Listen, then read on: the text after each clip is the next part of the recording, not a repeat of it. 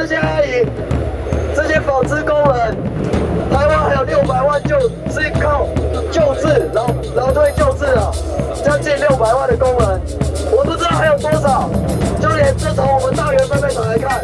我们自救会只有三百多人，但是被确切的问，你的工人有一千多人，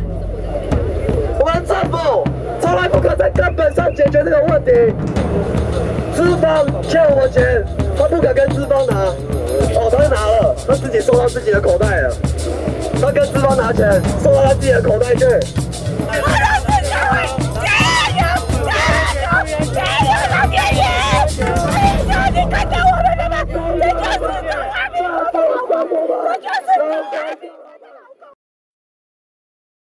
您现在收听收看的是《灿烂时光会客室》，我是节目主持人管中祥。《灿烂时光会客室》呢是由公司新闻议题中心 PNN、公民行动影音记录记录资料库以及《灿烂时光》节目联合制播的视讯跟音讯的节目哦，在每个礼拜五晚上的呃。中正大学金声金视广播电台，我们会有所谓的声音的播出哦。你只要收听 FM 八八点一的频道，在大明雄地区或者透过网络都可以收听得到。那我们在视讯的播出呢，是在呃每个礼拜天晚上的九点半，在公视新闻议题中心 PN 的网站上面。我们会进行直播，那接下来呢，我们也会在公库的网站的网来跟大家播出整个完整的这个节目内容哦。今天要跟大家谈的这个议题，我想很多的朋友可能在最近这一两年当中，在媒体上面我们都可以看得到，呃，就工人的这个抗争的运动哦。那这工人抗争的运动，其实基本上来讲会包括像官场工人啦，以及华龙的这个员工自救会的一些抗争的行动。那这些抗争的一个共同的主题，似乎都是为了这个自呃这个所谓的退休金的这个发放。那当然也包括去争取的这个劳基法第二十八条哦。那华龙自救会最近呃因为资方呃之前劳委会也发出了一个新的公告，那好像是可以再提供这个领到百分之六十的这个退休金。那到底这些官场工人或是华龙自救会的这个员工，他们所争取的权益是什么？那这些权益的争取跟我们的听众朋友跟观众朋友有什么样的关系哦？那我们今天的节目当中呢，就要来跟大家邀请到华龙自救会的秘书谢宗颖一起来跟大家分析来讨论。宗颖你好，关老师您好。呃，非常谢谢你来接受我们的访问哦。那我想。虽然我们在媒体上面看到很多有关于所谓的官场工人或者是华龙自救会的抗争，可能很多的朋友还是不是很清楚官场工人跟华龙自救会这两个看起来是不同的官的所谓的群体，他们之间有什么样的关系吗？呃，我想华龙工人跟官场工人相同之处，只有他们同样是因官场而受害的工人。嗯哼，基本上，对华龙工人基本上他们就是在苗栗的一个在八零年代。很大的一个纺织厂，华龙纺织厂的员工，而官场工人则是由像电子厂或是其他的东林纺织厂等公公司的员工。嗯哼，那所以他们，嗯嗯，但是你说，嗨，不好意思，对他们就是算是不不同的群体，只是同样就是因官场受害的工人。嗯哼，那华龙，你刚刚特别谈到说，其实它在八零年代是一个非常大的一个纺织厂，可以告诉我们华龙的当时的盛况跟现在后来整个这个公司的发展，呃，是一个什么样的状况吗？哦，大约就在那个时候，因为台湾就是进行劳力密集的产业，华龙在当时最全盛时期拥有七千人规模的纺织厂，在当时可说是纺织业的台积电。嗯，而大概就在十几年后，台湾的劳力优势开始下降，而华龙也也顺应这个趋势，开始将工厂慢慢外移至东南亚。嗯哼，嗯，所以呃，我们我们知道很多时候这个官场并不是因为这个劳工不努力，或者是这个公司他可能这个真的没有赚钱，而反的是他要考量的是这个人力的便宜嘛。所以他华龙这个公司跟其他公司一样，就把这个公司啊搬到东南亚。那搬到东南亚之后呢，这个这个公司的员工怎么办？他他有拿到一些合理的这种待遇，或者是他也跟着一起到东南东南亚嘛？呃，我想经济趋势或许是老板或是公司无法决定的。但是，劳工应该有的权利，就是一定要的。像退休金，其实它某种程度上意义就是，劳工在工作时间拿取较低的工资，而将这些少拿的工资累积到他们退休时一并拿取。在这样的概念下，其实那就是工资。所以老板是无论如何都应该给付的。嗯，那后来老板有给付他们的工资吗？或者是一些退休金吗？哦，老板在当初。工人得知要退休时，老板就已经有官场的打算了。所以老板与当时与员工签订了一个退休金迟延给付的一一份算是契约，或是就是一个一个协议。对，所以因为当时公司外表看看起来还还是很兴盛，所以员工不疑有他，嗯他们就就是接受了这份协议书。但是日子一年一年过去，老板又以各种借口来推脱，终于到了现在就是。老板已经卷款而逃，而员工迟迟拿不到他们权利的状态。你当时说他有签订一个十年给付吗？呃，对。所以十年是很长的这样的一个给付期，那员工其实也也同意这样一个做法。对，因为当时就是公司的营运还不见有什么就是即将关厂的状态，所以员工认为这应该是之后可以他们可以拿到的。嗯哼，再加上其实老板在这其中也有就是分批分，诸如几万块、几千块的方式，嗯，付退休金，这更让员工觉得放心。嗯哼，那后来都用什么样的理由告诉员工说，我我可能要抵 y 或者我甚至不发钱给你们？老板基本上就是用很就是近乎话术的说，就是哦现在有困难啊，或是程序上作业啊，什么时候会下来这样的一些理由。因为大部分的工人就是他们的教育水准并不高。所以只要一些简单，我们看似可能很荒谬的理由，就真的能够欺骗这些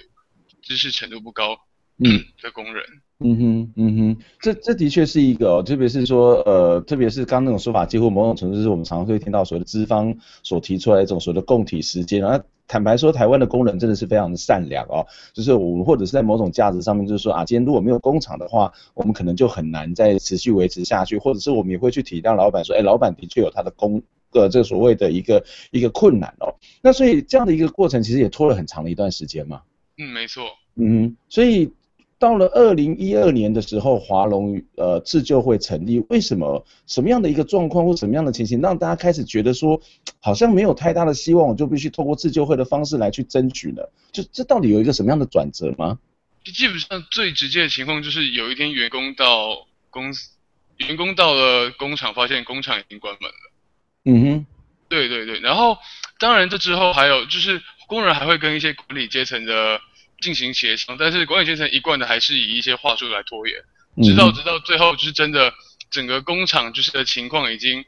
纸包不住火了，员工才发现这件事情很严重，他们的退休金已经拿不到。嗯哼，对，那退休金拿不到，华龙的员工怎么办呢？原本是因为在就是工厂的生产线上都会有一些人就是。因为就是集体的生活，成为就是大家比较信赖的人，嗯，而这这而这些人就是最早是由他们出面跟就是主管阶层谈判，对，对，啊，然后在之后，当他们发现就是这条路已经开始已经就是无法无法作用时，他们就想到就是组成自救会，嗯，而开始向就是苗栗当地的政府机关陈情，来表达他们他们的，来就是深表他们的诉求。嗯，苗栗包括当地的劳工局有什么样的反应吗？呃，基本上劳工局就是表示，哦，这个我们会处理，哦，我们会处理，就是一贯的政府话术。嗯哼，嗯，所以也没有任何实际的作为。呃，比较甚比较可恶的是，就是当时的大概到一六年，当时的县长刘刘正宏，嗯，有就是。因为当时自救会也采取了一些比较激、比较激烈的上街头的手段，嗯哼，所以就是当时刘正宏县长有请自救会的代表进去开会，然后说了就是承诺会有六成偿还，呃，帮助劳工取得六成退休金的承诺，嗯哼，嗯那哼，想当然了，之后就是跳票了。嗯，所以当时的刘正宏县长也跟这些华龙自救会的工人来做这样的承诺。对，不过刘县长跳票恐怕也不是太奇怪的事嘛，哈。我想这个最近这几年让大家觉得非常不可思议的，很多的这个台湾的问题都是发生在苗栗哦，不管是大埔或者是呃反风车或者是华龙的这个议题哦，其实呃真的是一个一个县长的这个作为如何，其实会真的影响到那个地方的各种不同阶层的人的日常生活哦。那所以苗栗县政府基本上来讲，刚刚呃提到的是一种跳票，那后来这些工人怎么办呢？哦，就是大概就在这个时候，就是开始有一些学生就是关注到这件事情。嗯哼，对，所以我们而而由于当那个当地地缘政治的关系，再加上我们想要就是一个就是一个更直接的一个表达诉求，因为在在当然在对苗栗政府表达诉求的同时，苗栗政府也会说哦，请你们向中央反映，请你们就是我们无法决定，所以我们就想好，那那既然我们如果针对地方政府表达诉求，会得到这样的推脱之词，那我们就直接诉诸中央，让中央无法推脱。嗯哼，嗯嗯，那也所以到劳劳委会或者到现在劳动部来对抗议。对对，我们就到了劳动部。呃，你们在这个抗议的诉求当中，其实有提出一个概念叫做代位球场哦。嗯没呃，错。我不晓得，也许有些听众朋友可能不太清楚什么叫做代位球场，可以帮我们解释一下什么叫代位球场吗？代位球场就是因为在原本旧制的退休金时，基本上退休金是一就是在劳工退休时一次一次即领的。但由于当时的就是台湾经济的环境，所以很多工厂都会以都都无法就是顺利营运到就是劳工达到他们退休年退休退休的年限时，所以所以而而以就是各种手段会关厂啊，或是恶意的解雇劳工。所以说，在劳在劳工的退休金是在退休时一次即领的情况下，很多劳工是在这之前就会被就无法领到退休金，就是工厂的情况或是被解雇。嗯所以这在新制的劳动，在新制的退休金上，改以就是每个月由老板从劳工的一部分薪水，老板自己也提拨一份钱到一个到一个专户里，嗯哼，这就是所谓的就是退休金提拨。对，嗯哼，对那那这个跟代位球场有什么样的关系？哦代位球场就是因为这些退休金提拨，它的目的是说，如果老板因为歇业或是关厂的话，嗯。或或是关厂而就是劳工无法向劳工无法向老板主张应有的债权，此时政府就可以从这个这个专户这个电厂专户里，先代替老板嗯哼，偿还劳工应有退休金，嗯。而政府在在以政府的角色去向这些积欠劳工退休金的老板追讨债债权，嗯。这就是代位求偿。嗯，这样这样的做法听起来是对老公是比较有保障的，不是吗？是啊，嗯，那那为什么没有办法去做代位求偿这件事情？是因为这个劳劳劳劳这个所谓的新制劳退新制跟旧制之间的一个差别吗？其实这主要原因是因为台湾政府在监督老板提拨退休金的方面，非常的没有就是完善的一套措施。嗯，怎么说？嗯就是像根据我们的数数字，理论上一个公司都应该有一个一个专户，在在在就是提拨这个这个退休金专户，嗯但是我们最近取得的数字是，台湾竟然有六万间公司，不但不但不要说没有提拨了，连这个专户都没有成立，我天哪，这太离谱了吧？就是对啊，我我们也觉得非常荒谬的事情。嗯嗯，所以这是一个非常普遍的现象，在台湾很多的这些资方，不管是他是呃大企业或者是中小企业，很多人都是没有做这样的事情，没错，是是他们不知道吗？还是不愿意啊？我想这个可能不利的成分居多吧。我觉得这，是一个对，可是这不是已经违反了相关的法令了吗？难道这些公政府对这些老板，不管是大企业、中小企业都没有没有办法去处理吗？我想这这是一方面也是人人力的缺乏，而再来也是没有相关法令的配套措施。嗯嗯，没有相关法令的配套措施。对，我我我觉得人力缺乏其实是不，我觉得我不太同意啊，因为其实每一个人的税，其实国税局都知道。你嗯今，天今天缴了，你今天领了多少钱，他都知道，所有的电脑系统都完全知道嘛。那今天你要去查这个人到底有没有提拨这个所谓的专户，其实或是是有没有设立专户，这些都是很清楚的。我觉得这是一个非常政府是一个非常非常怠惰的一一种状况哦。那所以这其实就是在代位求偿的这些问题，其实也面临到现在目前华龙的员工，他也面临到同样的问题，也就是当时的这些呃华龙公司也没有去提拨这些专户吗？还是呃政府不愿意去要求他们提拨？呃，当时华龙的情况，因为华龙当时是旧制的退休金，所以并没有就是这个这个提拨法令的使用。嗯哼。所以，如果现在要求政府代位求偿，政府其实也大家可以说，我们这次救治，我们也没有办法给你嘛。我想这就是一个法令的漏洞嗯哼，嗯哼，所以。其实，在这个部分，除了要求政府去修法之外，当然也必须要在持续的跟华龙或是相关的单位去追讨这一笔钱哦。那不过，我我想整个不管是华龙自救会的运动，或者是在官场功能运动当中，其实都有提到一个非常重要的一个一个概念，或者是一个在法令上面的修改，就是所谓的劳基法第二十八条哦。我们先休息一下，我们再回过头来请教啊我们的这个来宾钟颖哦，来谈到说这个劳基法第二十八条是什么，这对劳工的重要性到底有什么样的关系？我们先休息一下。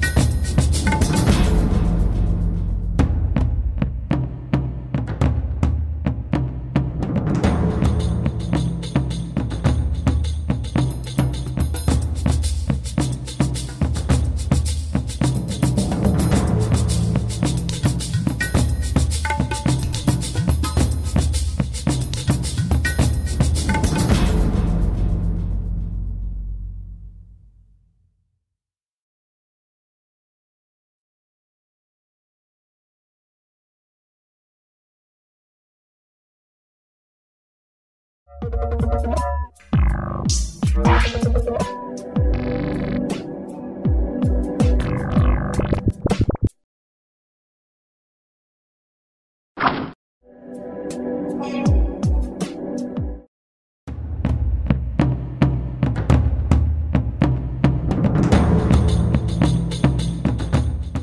您现在收听收看的是《灿烂时光会客室》，我是节目主持人管中祥。《灿烂时光会客室》呢是由公司新闻议题中心 PNN，还有公民行动语音记录资料库以及《灿烂时光》节目联合制播的视讯跟音讯的节目哦。我们在每个礼拜五的晚上，呃。九点会在公中正大学金声金视广播电台 FM 八八点一的频段当中播出，在大明雄地区，你就可以把收音机调到 FM 八八点一就可以收听得到。那我们的视讯的节目呢，是在公视新闻议题中心的网站上面，PN 的网站上面，在每个礼拜天晚上的九点半会呃会来播出。那一个半小时的节目，那之后会在公库的网站也会来播出相关的录影的节目哦。今天跟大家要谈的这个议题是华龙员工的这个自救会，呃，他们已经经过了好几年的这个抗争哦，这一阵子似乎有了一点点的眉目，就是呃，劳委会前一阵子也说可以把这些这个呃劳劳动部哦会把一些这个所谓的自救会，也许可以拿到百分之六十的。这个所谓的退休金的这样一笔的一笔退休金的说法啊，可是这个故事其实恐怕也不是只有单纯的退休金的问题，它更涉及到整个台湾的劳动相关法令的制度哦，以及包括像劳基法第二十八条等等的问题啊。今天在节目当中跟大家邀请的是华龙自救会的秘书谢宗仪，一起跟大家来分享来讨论。宗仪你好，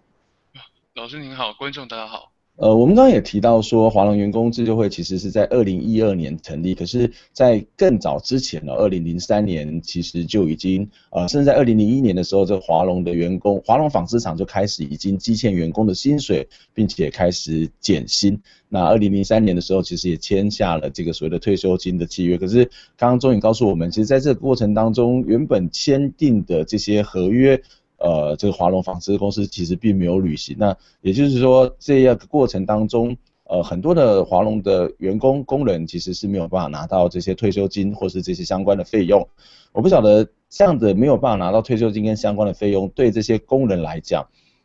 他们生活不是会陷入到某种的困境吗？或者是会对他们生活或者工作上面造成一些影响吗？哦，我想这些工人是陷入极大的困境的，嗯，因为在在退，就是在他们退休时，平均工人年龄大约是六十岁，嗯，对，原本工人可以靠着这笔退休金，就是安然度过他们的晚年，但是今天退休金没有了着落，所以工人就是必须被迫必须再一次就业，而且是以六十岁的年龄再次就业。他们能做的工作就是在市在市场卖一些青在卖蔬菜，或是去种田，或是在公司担任，或是在各地担任清洁工。这些工作对他们六十岁的身体也是非常大的负担。嗯，所以这其实对他来讲是一个非常辛苦的事嘛。没错，是非常辛苦的事。嗯哼，那他们怎么办呢？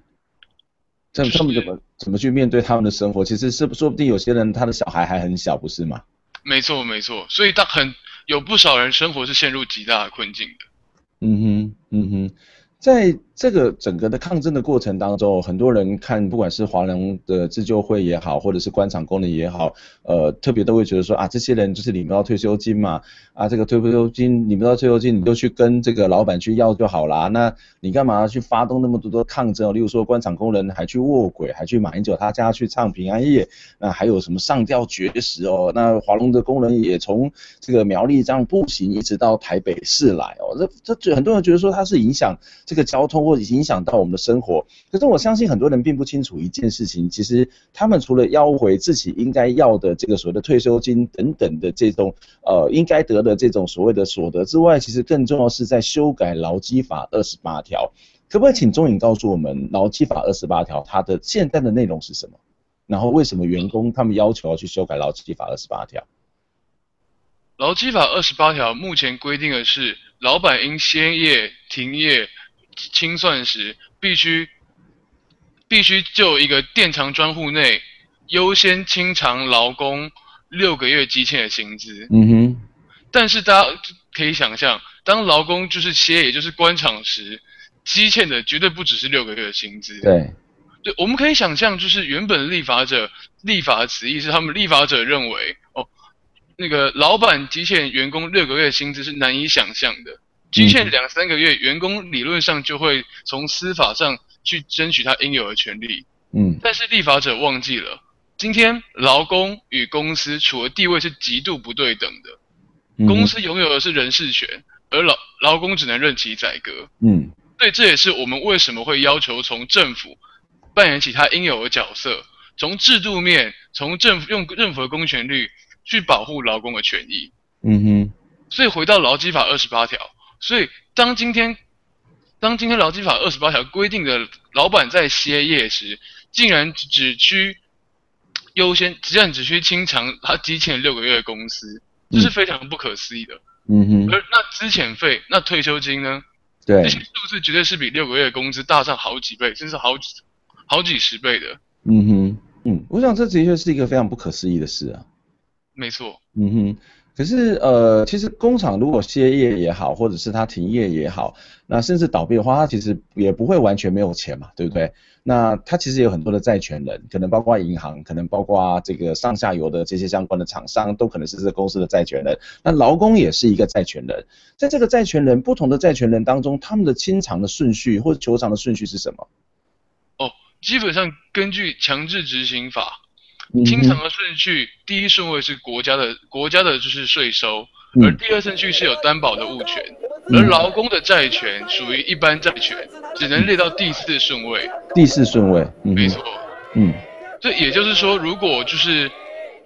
老板积欠的，如果有就是老板的工厂如果有抵押给银行的话，而而这些工厂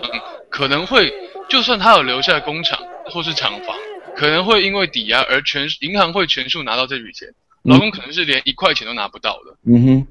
所以所以如果今天倒闭了，那工工人还不能够跑去工厂里面搬机器嘛？呃，完全不行，因为他可能是银行的，对不对？没错，这是银行的。可是银行会比工人很有更有钱，不是吗？没错。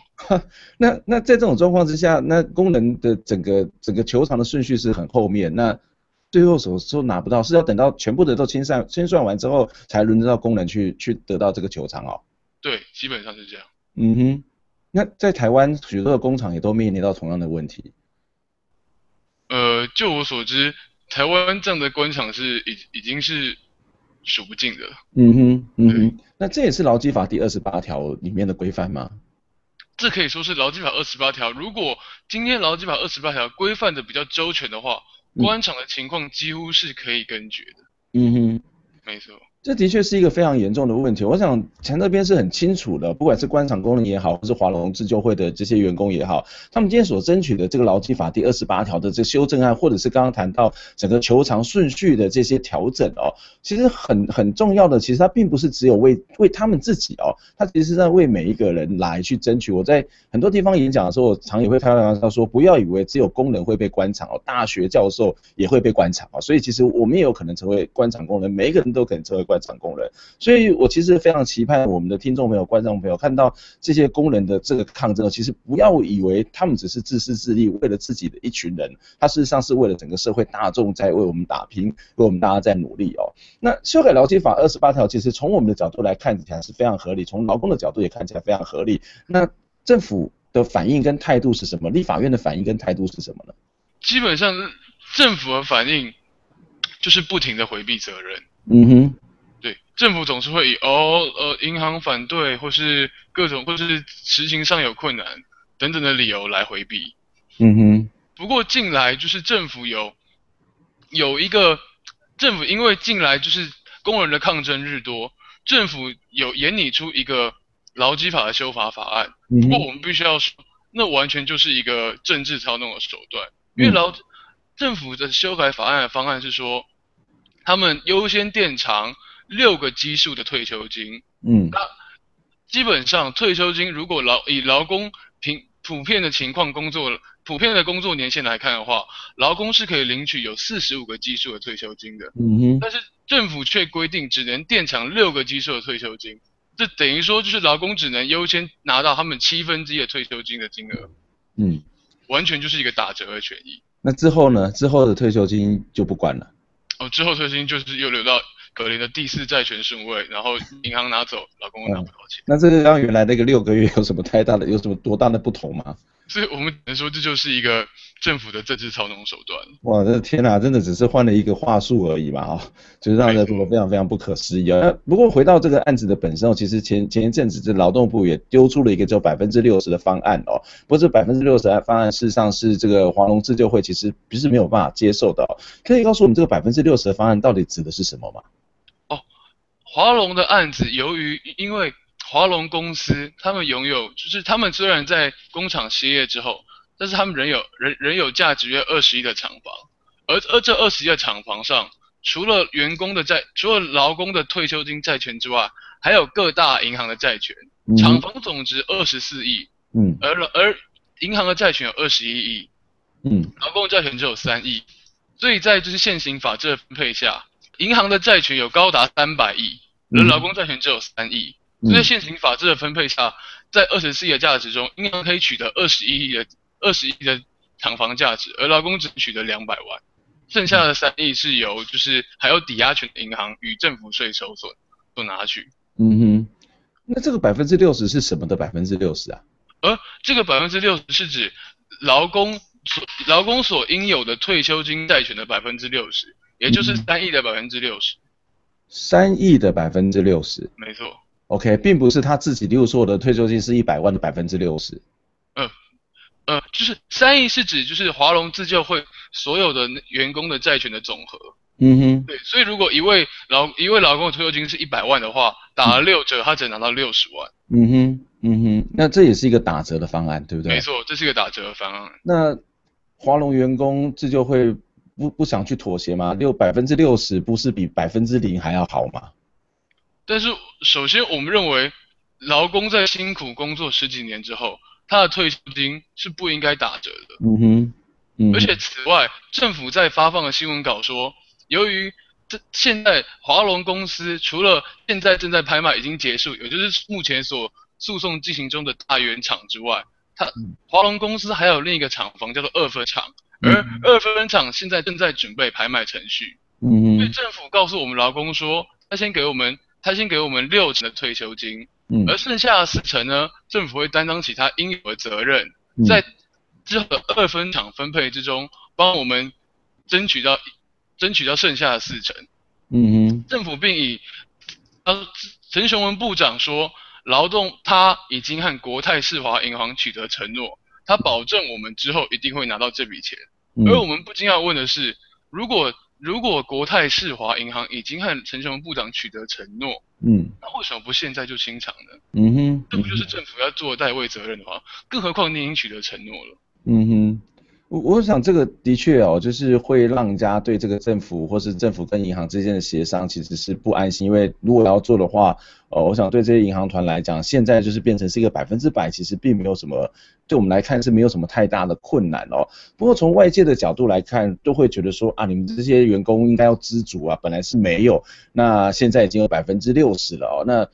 这这其实常常是一个非常庞大的社会压力，而且所有的指责都会回到这些员工的身上哦。那甚至觉得也有报道说，华龙员工不想跟其他的劳工去分担啊、呃、分分这一笔钱哦。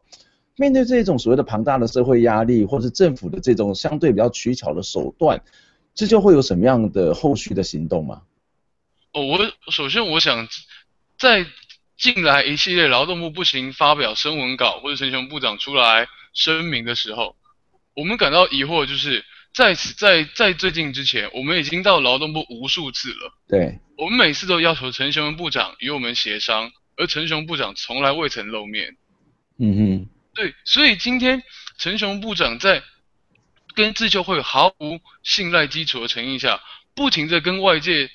宣布我已经有解决方案了。我们不禁纳闷，如果真的有解决方案，那可以，那非常，那为什么不不邀请自救会到劳动部，我们大家一起解决，一同发布声明稿呢？嗯现在都是劳动部劳动部片面的在在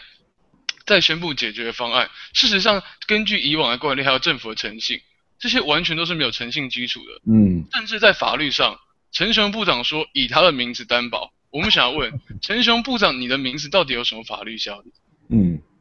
没错，这个这个其实是非常荒谬，一个非常典型的人治啊，而且非常典型的一种官僚主义，就是我其实已经帮你们解决了很多问题，你们应该要知足了。可是实际上的问题，刚刚谈到说，一个部长用他的名字去担保，我觉得这是一个非常没有法治精神的一种说法，而且更何况，既然是要去协商，既然要去解决问题，为什么不跟这些工人朋友们、这些劳动的朋友们坐下来好好的谈呢？这其实并不是太困难的事情呢。我想这是一个非常严重的一种官僚主义的心态哦。那华龙自救会的消息，华龙自救会的议题，我们整个社会都必须持续关心哦。公民行动影音记录资料库 PN 也会持续的来关心这样的一个议题哦。今天非常谢谢我们的来宾，呃，华龙自救会的秘书谢宗颖一起跟我们来分享。谢谢宗颖，希望下次有机会能够再持续的跟你连线。那也希望我们的这样的一个一个抗争呢，能够持续的顺利的来进行的，社会大众也要一起来支持。谢谢你，我们下礼拜空中再会，谢谢。空空的眼泪，洗过了时间，还来不及发现，藏在手中的幸福消失不见，心中的黑暗掩盖了希望，忘记要相信。